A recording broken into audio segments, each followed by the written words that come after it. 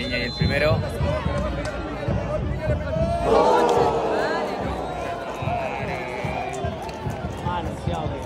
Ya tapa Nicola Peri.